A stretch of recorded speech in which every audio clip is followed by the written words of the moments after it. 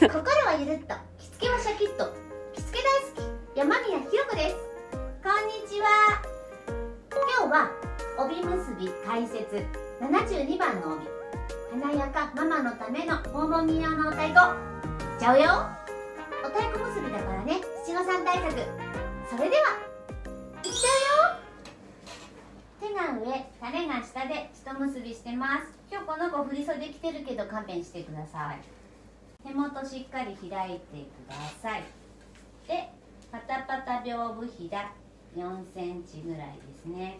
パタパタパタ。柄がないところまで来て。で柄のないところも合わせてください。そして三重仮紐の一番奥に留めます。そして手前ももう一個2枚2本引いて。三重仮紐の？ここに留めてください。そうしたらこのひだ。少しスルスルスルって。広げてみますよ。華やかお太鼓だからね。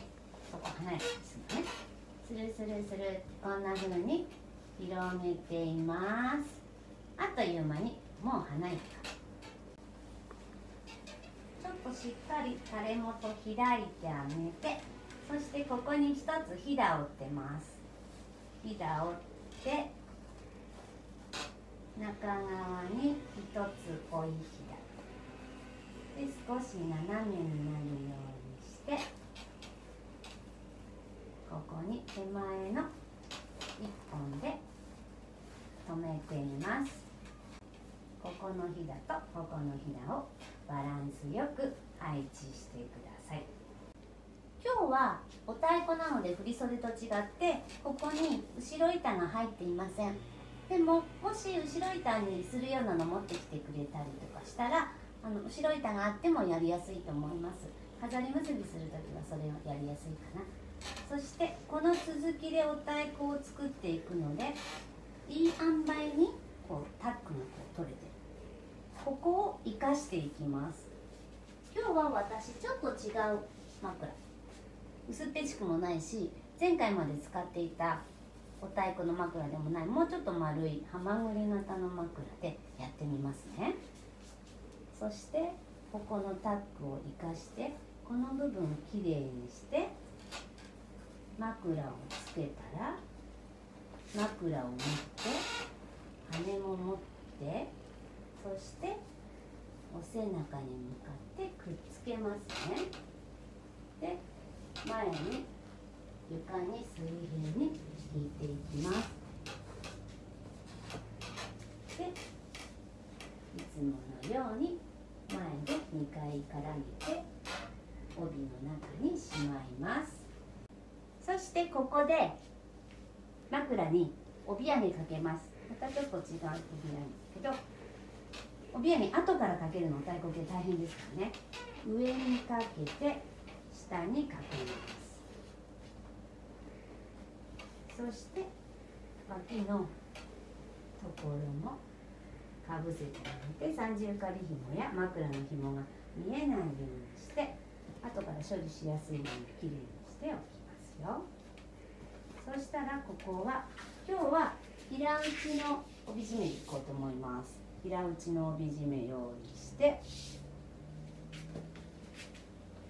でこれ普通にお太鼓にしちゃってるのでまあこんなに実際長さがあるから何かしようと思えばできるんですけどこうしてますので無理のない範囲で枕の下入れてもらって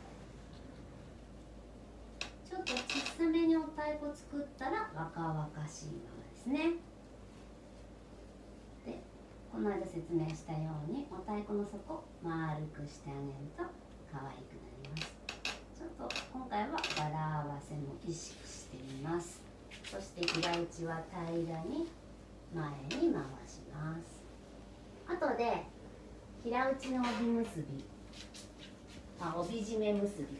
ちょっとアレンジをやってみようかなと思ってます。それおまけのショットですね。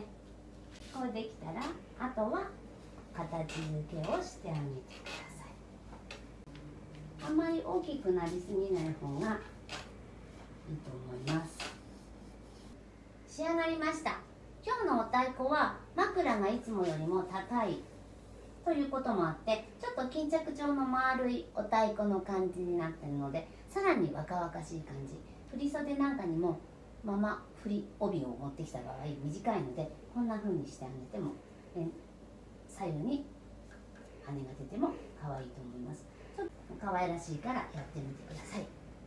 今日さっき言ったおまけのね帯締めのアレンジあるから。まだ切らないでね。平打ちでちょっと変わった帯締めのアレンジやるよ。見てて。上に向けて結ぶやり方で結んでます。一回しっかり結んでください。そして平打ちだからその特性を生かしてくるくるくる。で挟みます。でこれもこっちも同じことします。くるくるくる。3回くるくるします。3回して上から下に寝ます。